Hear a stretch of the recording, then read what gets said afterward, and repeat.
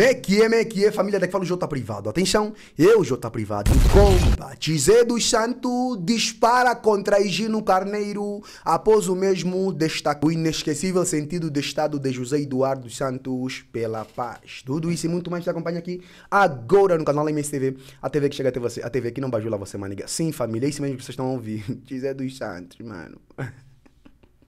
Sempre ela, mano. Sempre a Tizé dos Santos. Antes de entrar aqui na matéria, quero pedir para vocês internautas, por favor, inscrevam-se no canal, partilhe o vídeo, comenta. Deixa aquele like maroto, deixa o like se não curte, comente bastante que é essencial. Siga meu Instagram, siga meu TikTok, que é muito importante.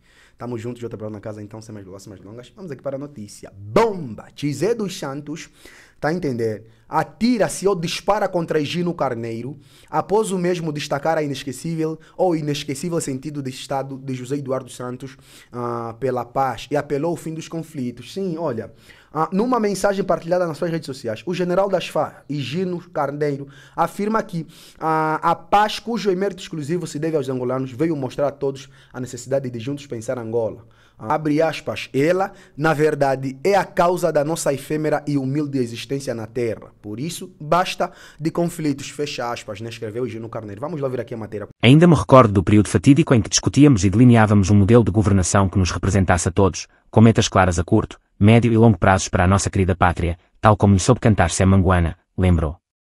Neste dia especial, Higino Carneiro exorta a que se preste homenagem àqueles que contribuíram para alcançar esta segunda grande proeza heroica, depois da independência nacional, destacando o inesquecível sentido de Estado do presidente José Eduardo dos Santos. Também, defendeu a importância de reconhecer o papel da estrutura central do MPLA naquela época, com um secretariado forte liderado pelo atual Presidente da República, João Manuel Gonçalves Lourenço, apoiado por quadros e técnicos que entenderam a importância de acabar com a guerra e promover a reconciliação entre irmãos desavindos há décadas. Não podemos esquecer o papel crucial desempenhado por tantos responsáveis, quer na retaguarda como na linha da frente, como Afonso Van Bunen, Minda, Alexandre Rodrigues, Quito, António dos Santos França, Daú, França Van Dunen, António José Maria, Zé Maria, Mário Plácido Ciril de Sá, ITA, Lopo do Nascimento, Pitra Neto, Jeremias de Chitunda, Paulo Lucamba, Gato, Peregrino Ambo, Fernando da Piedade Dias dos Santos, Nandó, Arlindo Pena, Ben Ben, Demóstenes Xilingotila, Januário. Consagrado, José Nogueira Canjundo, Adriano Mackenzie, Agostinho Nulumba, Sanjar, João de Matos, Faustino Muteca, William Tonet, Eugênio Manuvacola, Isaías Samacuva, Jorge Valentim, Alexandre Simeão, Ambrósio de Lemos, Adolfo Razoilo, Manuel Helder Vieira Dias Coplipa, Armando da Cruz Neto, Abreu Moengo Camorteiro, Geraldo Sachipengo Nunda, e o clero da Igreja Católica e outras denominações religiosas, cujas intervenções foram catalisadoras, considerou. Num momento tão significativo como este, disse ainda, é necessário reconhecer a importância de tantas outras personalidades que, por limitações de espaço, não foram mencionadas aqui. Peço a compreensão de todos e que se sintam igualmente representados, pois cada contribuição foi valiosa para alcançar este momento histórico. A diversidade de vozes e esforços demonstra a riqueza do nosso povo e o seu compromisso com a paz e a prosperidade de Angola. Finalmente, o general deseja que esta celebração seja um tributo a todos os que trabalharam incansavelmente pelo bem comum, sendo certo que é através do diálogo, da transparência, da tolerância e do respeito mútuo que se vai construir um futuro de bem-estar para as gerações vindouras, a quem devemos esse legado. E a família, face a isso, quem não ficou feliz com as declarações de Higino Carneiro foi a Tizé dos Santos. Vamos lá ouvir o que ela disse. Let's get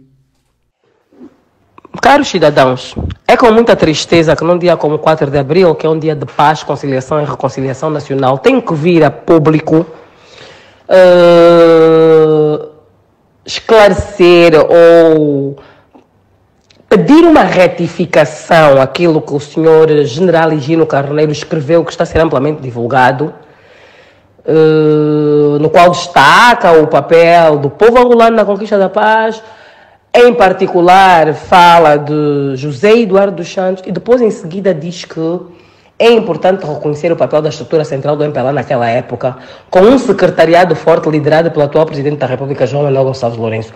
É muito triste que alguém que é membro do MPLA há tantos anos, que foi membro do Biro Político, que é membro do Comitê Central desde que eu me conheço por gente, ah, não conheça os estatutos do MPLA.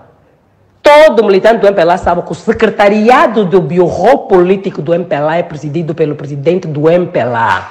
E o presidente do MPLA era José Eduardo dos Santos. Não vamos estar aqui a tentar bajular. Hum?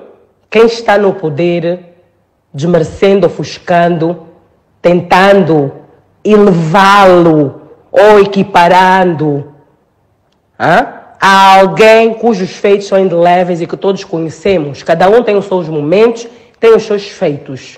E quem os quer reconhecidos, que os construa para que depois possam ser assinalados. General Higino Carneiro, já não é a primeira vez que o senhor nos ilude. Primeiro foi a Barcelona convencer o senhor presidente emérito do MPLA, então, José Eduardo dos Santos, meu pai, a ir até Luanda, dizendo-lhe que o presidente João Lourenço queria uma reconciliação e que ele estava a ir para o bem de Angola, para o bem do MPLA, para criar uma reconciliação para todos.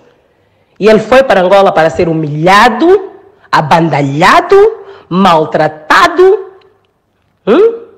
e, de forma moral, assassinado, porque entrou num desgosto, numa depressão tal, com o tratamento que lhe foi dado. Primeiro, sendo proibida a divulgação da sua chegada ao país pelos órgãos de comunicação, inclusive com descaramento de um diretor da TPA, vir dizer que não, aquilo não era assunto para ser noticiado, porque não era de relevo, etc, etc, etc.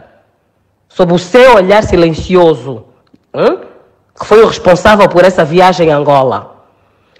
E depois privarem José Eduardo Santos do seu próprio passaporte, dos seus próprios documentos, para que ele pudesse regressar a Barcelona, onde o aguardávamos nós, os seus filhos, e onde ele estava a ser acompanhado por nós, ao ponto do senhor perder mais de 30 quilos em solo angolano, graças ao a sua prestação, senhor Higino Carneiro, para que José Eduardo Santos fosse para Angola. Não satisfeito, hoje, 4 de abril, envolvidos 22 anos, do maior feito, do, do maior legado da vida de José Eduardo Santos, vem ofender a sua memória, escrever que o secretariado do, do, do, do MP, da direção do MPLA era dirigido por João Lourenço. Hein? que é uma aberração estatutária do MPLA, que o senhor sabe muito bem que o secretariado do Bureau Político do MPLA não era dirigido pelo secretariado-geral e nunca foi e não é.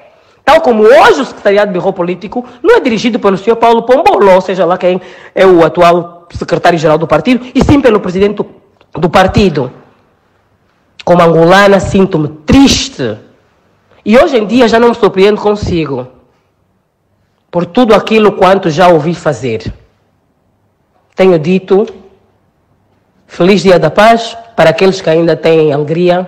Eu estou triste. Meu Dia da Paz foi estragado por, pela leitura desta declaração. Do... A família é basicamente isso. O vídeo hoje foi esse. Se inscreva no canal, partilhe o vídeo, comenta, deixa aquele like maroto.